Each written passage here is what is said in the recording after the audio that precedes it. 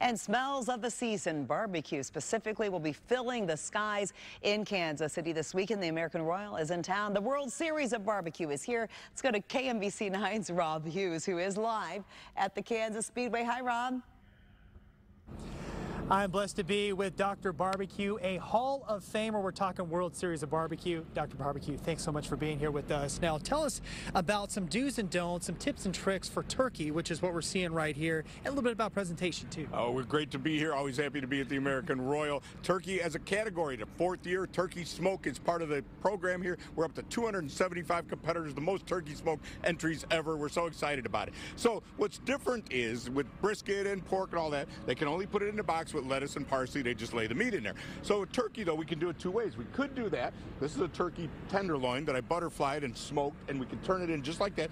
Or we can make a little sandwich thing. This is our turkey tenderloin turkey teriyaki tailgate sandwich that I made a homemade teriyaki and we marinated a turkey cutlet and put it on there. So you could do either of these presentations and that's what makes it more fun.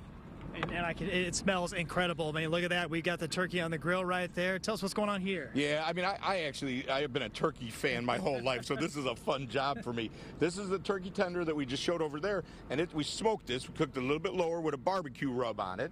And then these are the, the cutlets that we made with the teriyaki.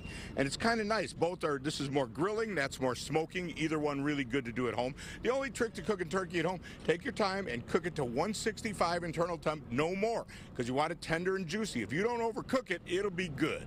This is coming from a Hall of Famer champion, by the way. Congratulations again on Thank being inducted you. into the Hall of Fame. appreciate that. That was 2014. I was inducted. These days, I get to MC the the host. It's really fun because I see a lot of people that I'm impressed by. Like, wow, I knew that guy back in the day. He's got that great restaurant in Memphis, and now they're here getting inducted into the Barbecue Hall of Fame. Awesome. And real quick, I got to ask you the best part about all of it. Oh, the friends and stuff, you know. But these recipes go on to turkey turkeysmoke.org if you want to get any of these recipes. All about cooking turkey. That's the place. Oh, it's been great talking to you. Thank you for your time very much. Pleasure. I appreciate it, Dr. Barbecue. We are at the Speedway. I'm Rob Hughes, KMBC 9 News. Rob, thank you. A young woman's